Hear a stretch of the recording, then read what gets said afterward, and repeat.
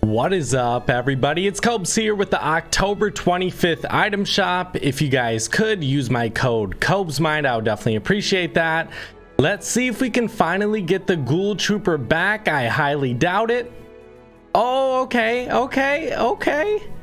This skin is dope. I really like it. I love the horns on this skin as well.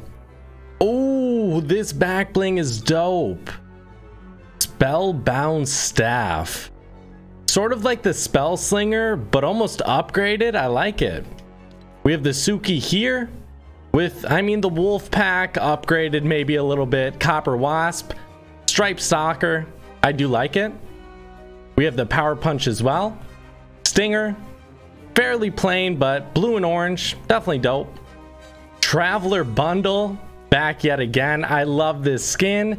And you can get this pickaxe as well for 1200 V-Bucks. We have Team Space. And Full Tilt is back yet again. We have the Chaos Agent. I love this skin so far. It's so skinny. Ooze Chamber. It's an okay back bling. Um, Chaos Scythe is decent. Black Ooze, definitely dope. Highly recommend it. Let's see. We have... Are these new? Yeah, new. Blooming Bones.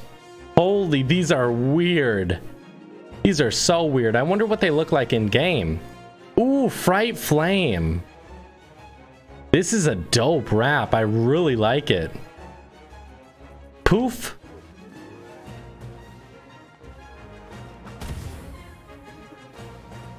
Star Power.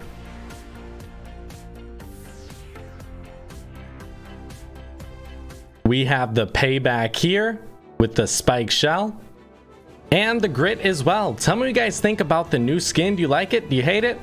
Tell me in the comment section. I'll see you guys later. Bye guys.